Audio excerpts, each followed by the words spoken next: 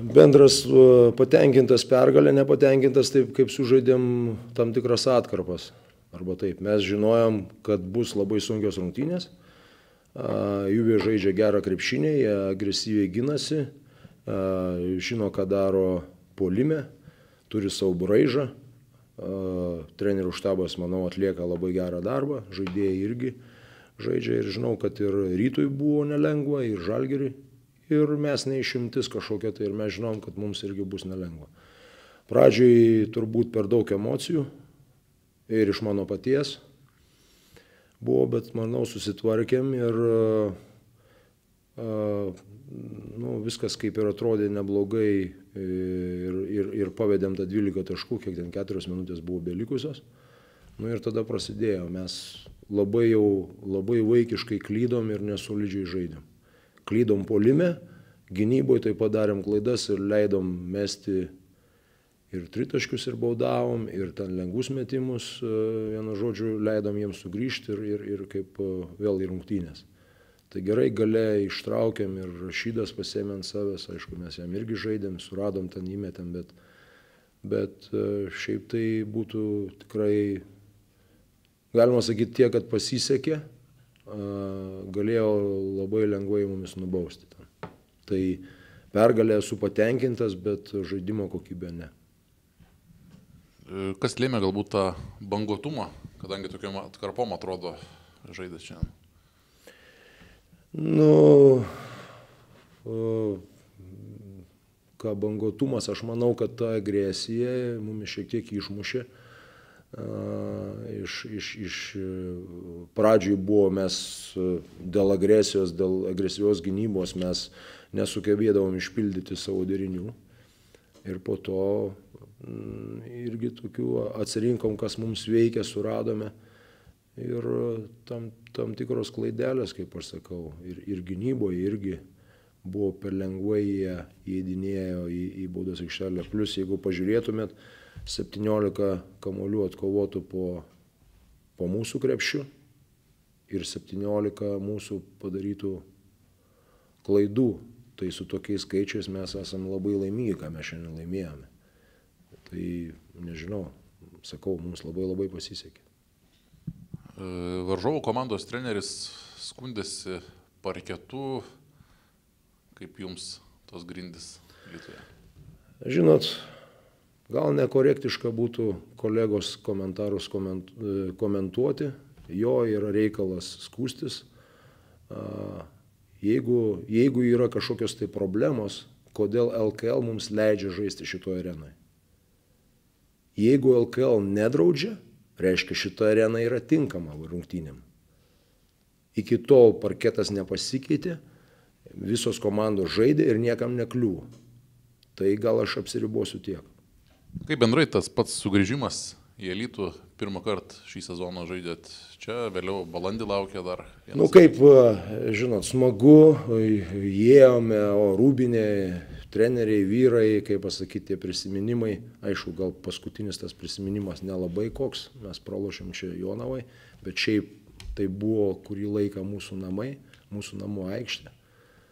Iš vienos pusės tai yra malonu, norėjosi gal daugiau tų žiūrovų, bet suprantama, sekmadienis, vėlai, gal ir laikas ne pats tinkamiausias. O iš kitos pusės pragmatiškai mes čia nesportavę, taip kad mes nežaidėm, kaip ir nesijaučia, kad mes čia namuose žaidėm. Bet dėkingas tiems ir galiams, kurie apsilankė ir, kaip pasakyti, manau, kad tas toks ryšys išliko ir labai viliuosi, kad alitiškių, tie fanai mūsų atvažiuos ir į ASG areną ir palaikys mumis, kur mes bežaistume. Būčiau labai dėkingas ir kvieščiau. Ir kaip tik laukia ir vėl Europos taurėje rungtynės su Prometėjai komanda. Kaip e, sekasi padėlioti tas minutės, kad žaidėjai pasižaistų ir e, BCFLKL ir Europoje ir na, jaustųsi šviežus? Nu, kartais sekasi, bet turim žiūrėti, kad nepakenktų rezultatui. Tai Džiaugiuosi tie vyrai, kurie išėjo, kažkiek tai davė tų minučių, nebūtinai taškais. Gera kieta pražanga savo laikę, ar ten nuimtų kamoliu, ar dar kažko tai tai. Ir, ir, ir, ir, ir Vitalijus Kozi šiandien gerų minučių davė. Ir kiti. Gagičius manau, kad pajudėjo jau, jau į tą pusę, ką mes norime, ar ne. manau, kad tikrai dar gali geriau. Tai, nu, kažkiek tą bandom paskirstyti, bet kaip aš sakau, pagrindinis tai vis tiek mes norim laimėtos, kiekvienas rungtynės, kurias mes žaidžiame, tai nieko nepadarysi. Tai yra irgi iš kitos pusės mūsų, mūsų treniruotė šiandien prieš antradienį rungtynės. Aišku, tai buvo rungtynės, tai yra daugiau, ne, vienas, ne viena treniruotė neatstos rungtynių, ypač tokių. Tai tikrai yra ką daug pasimokyti iš tokių, nes uh, taip žaisti, kaip kai kuriais momentais žaidėm, mes negalim tikėtis kažkokios tai pergalės ar sėkmės Euro, Eurocapė. Taip žaidžiam. First of all, I must say, you know, that the good thing is that nobody is injured from both teams because this floor, it's not a floor for, for this, this, uh, this uh, level of competition and it was problem in warm up in, in, the game everything finished well. So this is my first thought that everybody are okay and more or less after that game was okay. I think that was very competitive game. Congratulations to to wolves. They had let's say more more uh, calmness in uh, end of the game. The game was tough up and down a lot of a lot of times and on the end, you know, like I said, calmness of and experience of the Wolves team decided that they win the game. We miss a lot of layups and open shots, and if we want to be very competitive to the last second of this game, we need to work on this to, to improve. But there are other numbers that I'm really proud of. That's first of all, we had 16 offensive rebounds, which is a great effort from all guys this today is one of, of the goals on this level, like I said, you know, to control the, the emotions and, and the ball. So 10 turnovers on the end, which is a great number, how we control all the situation. But like I said, on the end of the day, 40, 42% of two point shots and not enough good three points, of course, which is not on our level. For me, was one of the things that didn't give us chance to be competitive till the end. So we need to work on that. Next game's coming. So that's all. Visų pirma, norėčiau pasakyti, kad arenos grindys nėra tinkamos tokio lygio rungtynėms. Džiaugiuosi, kad niekas negavo traumų.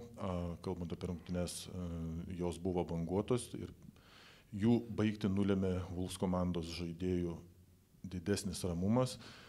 Nesu patenkinta savo komandos pataikymu, tai nėra ta, tas metimų procentas nėra toks, kokio, kokio mes norėtume. Ir dėl to ateitie reikės dirbti. Aš taip pat, pat patenkintas gera kova komandos dėl atšokusių kamuolių ir mažų klaidų skaičiumi.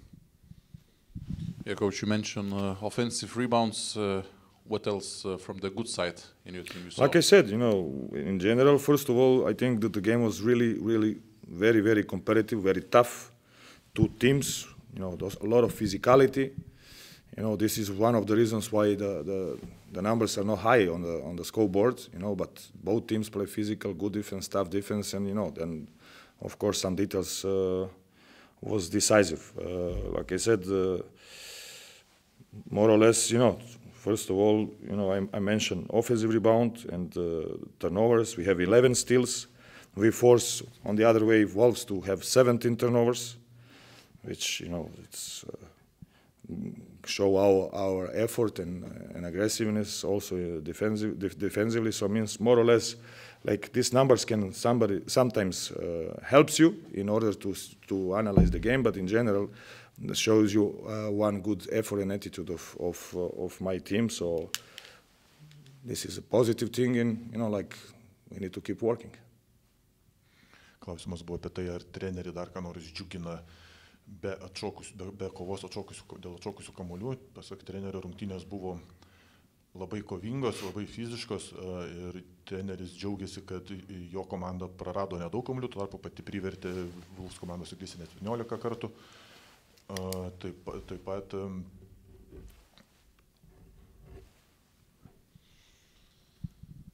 Last question about Taylor. He was out today. When it's possible to see him on the court? I hope so.